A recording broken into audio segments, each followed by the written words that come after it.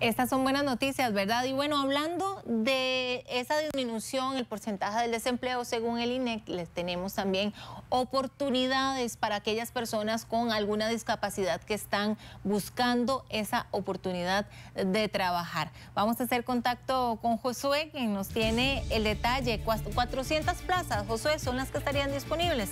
Adelante.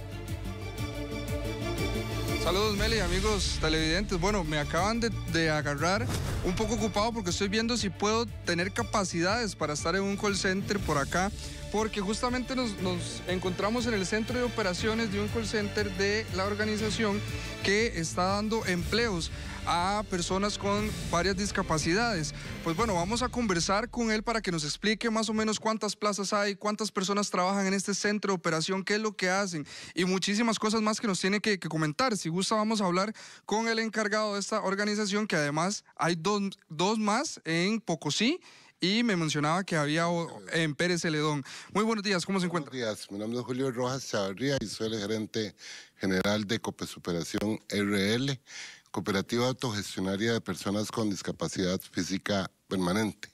Aquí donde estamos, en este edificio recién inaugurado el viernes pasado, es donde este, tenemos la sede central de Superación RL. En ella hoy hay 80 personas este, trabajando, todas personas con discapacidad.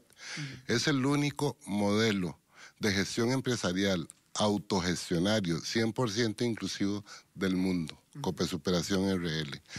¿Cuáles son las personas, digamos, cuáles son las discapacidades que, hay acá o que se han manejado, que se ven que, ingresan a este lugar? Sí, las personas son, eh, todas son de eh, discapacidad física permanente, o sea, es desde todo el punto de vista eh, físico-esquelético.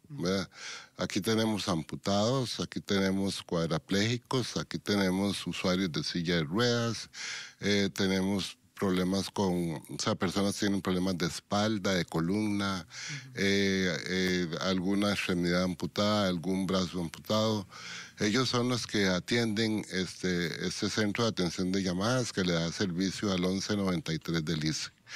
No, todos los, aquellos abonados o clientes del ICE eh, que llamen por algún problema en el celular, en el teléfono celular o en el teléfono fijo o en internet, en el servicio de internet o en el servicio de televisión por cable o cable digital. Eh, cuando llaman al 1193, quien los atiende es una persona de COPE Superación.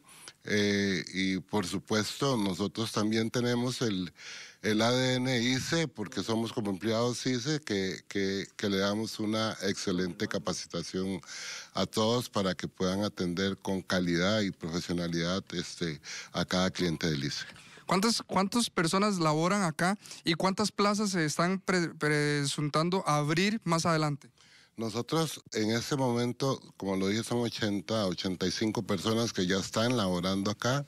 En esta semana se van a incorporar algunas que están ya en proceso de capacitación y además de aquí a dos meses este, tenemos que tener ya 50 personas más trabajando.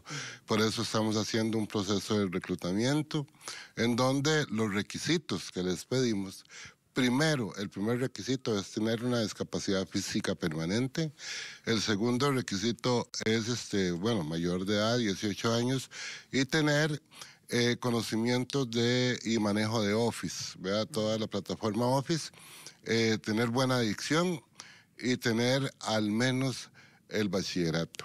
Eso lo estamos pidiendo porque sí queremos que, que venga con alguna base educativa para que este, nos pueda eh, servir y desarrollarse adecuadamente. Todo lo demás, el proceso de capacitación se lo damos acá en la cooperativa. ¿Cómo lo pueden contactar para aquellas personas que están buscando un empleo? Sí, envían un correo a copesuperación.ice.co.cr. Eh, o también tenemos este el, en la página que es Copesuperación RL, nuestra página en, en Facebook, Cope, Copesuperación RL, ahí donde pueden cargar también el, Bueno, es una buena noticia. Hablamos entonces de 400 nuevas plazas que estarían disponibles en COPE Superación. Recuerde que los requisitos son ser mayores de 18 años, tener su bachillerato y también alguna discapacidad permanente. 400 plazas, lo único que tiene que hacer es ponerse entonces en contacto para enviar su información y la capacitación y todo lo que usted necesita conocer para atender en este call center se lo brindan en la cooperativa. Así que eh, ojalá si usted está en busca de empleo pueda aplicar.